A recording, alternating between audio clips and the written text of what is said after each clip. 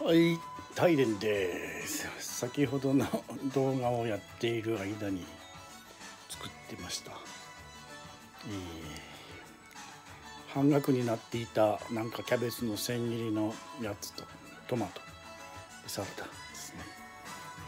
大連の部屋にはご飯を炊くシステムがないのでいつもこのチンするご飯です、えー、で先日のカレーをやった時の残りのじゃがいもと人参で今日ウェルシア薬局さんでお肉とですね糸こんじゃないですよね白滝なんですよね。うんこれで、えー、肉じゃがをやってみました。はい。本当はねあのなんていうのお豆あのグリーンピースみたいなねあのサヤエンドウっていうかあれが入るともうちょっと色が鮮やかになるんですけどねあのウェルシア薬局さんにはその売っ